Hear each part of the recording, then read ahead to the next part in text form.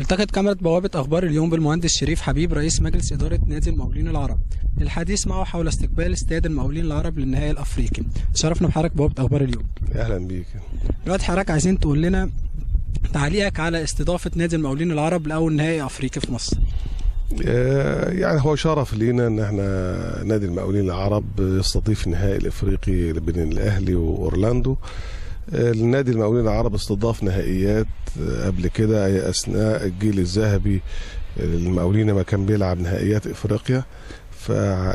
فده يعني مش أول استضافة لنا. واستضافنا مباريات هامة للمنتخب القومي والأهلي والزمالك في تصفيات آه، مهمة كان فيها حضور جماهيري عالي يعني. فالحمد لله ال- الجهاز في النادي كله عنده الخبرة على استضافة الأحداث الهامة.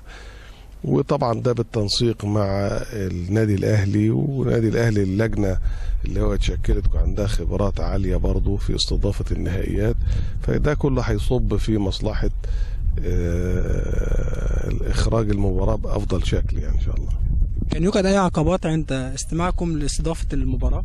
لا هي كانت إحنا ما كناش عملنا خدنا الصيانة الدورية اللي بنعملها آه، اللي هي كان آه، تملي بتتم بس كان توقف النشاط وعمل عدم آه، ظهور رؤية لعودة نشاط الكورة. ده كله كان مؤثر إن إحنا ما خدناش البداية.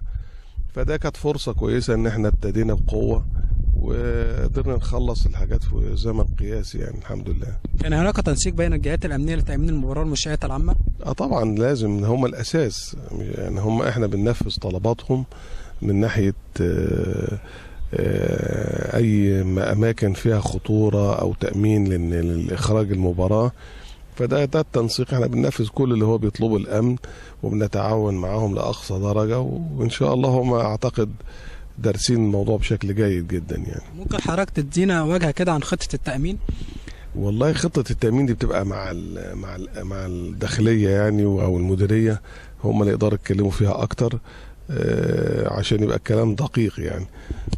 كان هناك عطل في اللوحة الإلكترونية لدي الملعب هل تم تصليحها؟ لا هو كان في الكنترول وتصلحت يعني زي بقول لك إن كان كل أعمال الصيانة كانت ما كانتش ماشية بصورة جدية لأن إحنا بقالنا سنتين ما بنلعبش تقريبا وحتى ما فكانت دي أنا بقول فرصة كانت جيدة لإن إحنا نعمل الشغل اللي كنا مأجلينه يعني آه، هل يوجد لديكم خطة لاستقبال الوفد الأفريقي؟